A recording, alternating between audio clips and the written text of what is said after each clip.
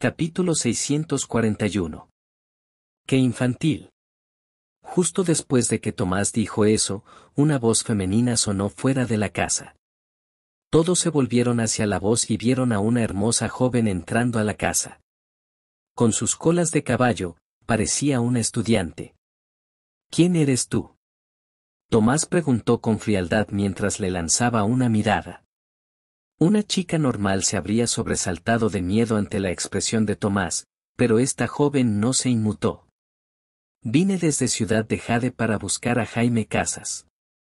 La multitud se miró antes de volverse para mirar a Josefina. Sabían que Jaime se había quedado solo en Ciudad de Jade durante unos días, pero no esperaban que una joven de Ciudad de Jade apareciera de manera repentina poco después de su regreso. ¿Quién eres tú? ¿Por qué quieres hablar con Jaime? Josefina exigió cuando su mirada hostil se posó en la joven. La joven le echó un vistazo a Josefina y se rió con desdén. Tú debes ser Josefina. Sí, eres bonita, pero no eres más que una cara bonita. No hay energía dentro de tu cuerpo. Si te quedas al lado de Jaime, algún día te meterás en problemas. Jaime no es libre de protegerte en todo momento. Oye. Josefina se enfureció. Antes de que pudiera cargar contra la joven, Arturo la detuvo. Como la joven de Ciudad de Jade emitía un aura extraordinaria, era mejor no hacer enemigos ahora. Señorita, ¿puedo saber por qué quiere ver a Jaime? Arturo preguntó con cortesía. Estoy aquí para darle algo. ¿Dónde está él? El señor Casas está cultivando en su habitación. Ha estado allí durante tres días, respondió Arturo con honestidad. Despiértalo ahora. Un desastre va a llegar tres días después. Debería idear un plan lo antes posible. Antes de que pudiera llamar a la puerta, Tomás y Fénix le bloquearon el camino. Nadie puede molestar al señor Casas cuando está cultivando a menos que se despierte. Tomás y Fénix sabían que Jaime odiaba que la gente lo molestara cuando estaba cultivando, así que dieron un paso al frente para evitar que la joven lo interrumpiera.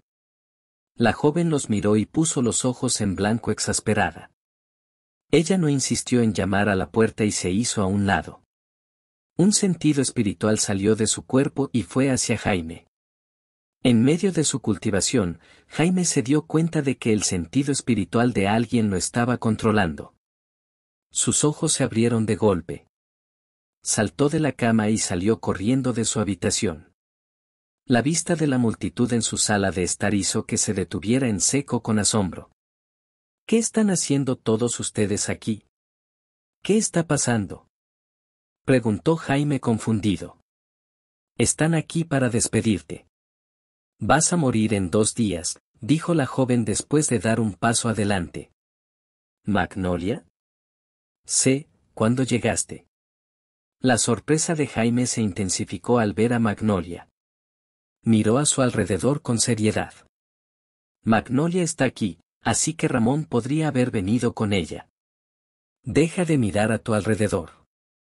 El señor Duval no está aquí. Vine aquí sola, dijo Magnolia sacó algo tan grande como su palma. Estaba salpicado de óxido y parecía como si lo hubieran sacado del suelo. Esta es una coraza de bronce. El señor Duval me pidió que te entregara su precioso bebé. Mira cómo te adora. Puedes soportar un golpe fatal de Silvio después de ponértelo. El señor Duval también quiere que te informe que Silvio es un gran maestro de artes marciales. No eres rival para un gran maestro de artes marciales, por lo que es mejor mantenerse alejado de él si no tienes un deseo de muerte. Dicho esto, le arrojó el peto de bronce a Jaime y se dio la vuelta para irse sin mirar atrás.